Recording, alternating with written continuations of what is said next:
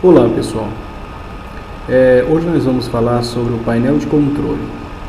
O painel de controle é onde se encontra todas as ferramentas necessárias para fazer a configuração correta de todo o sistema Windows. Bem, vamos lá? Vem aqui no menu iniciar, a barra de tarefas, né? Dá um clique no botão direito do mouse você vem aqui em painel de controle. Vamos dar um clique. Aberto o painel de controle. Então, primeira coisa é você mudar é, o layout né, do seu painel de controle. Essa aparência aqui não é essa aparência que eu gosto de usar. Então, você vem aqui em categorias, né? Você clica aqui nessa setinha, nesse vizinho, dá um clique aqui, aparece categorias, ícones grandes e ícones pequenos.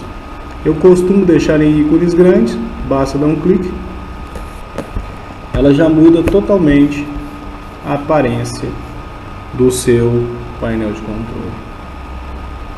Nós marcamos, né? Nós marcamos ícones grandes.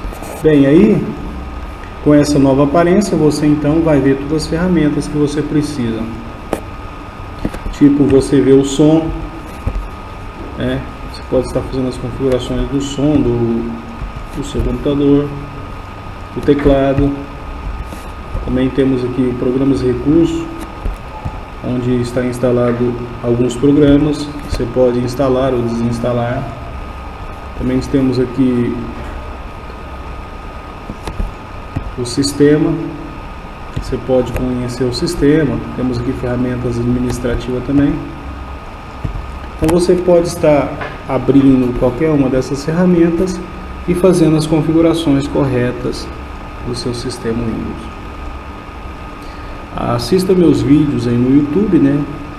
Onde eu explico como configurar cada ferramenta do sistema Windows e vai fazendo as configurações corretas né, para que você possa ter o, o máximo de desempenho do seu computador.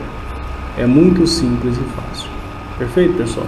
E, e aprender como colocar o ícone do painel, do, contro, do painel de controle aqui na sua área de trabalho é algo muito fácil e simples. Assista o meu vídeo aí também, onde eu explico como criar atalho na sua área de trabalho. Perfeito, pessoal?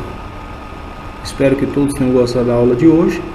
Dá um joinha para nós, se inscreva no canal e até o próximo. Fiquem com Deus.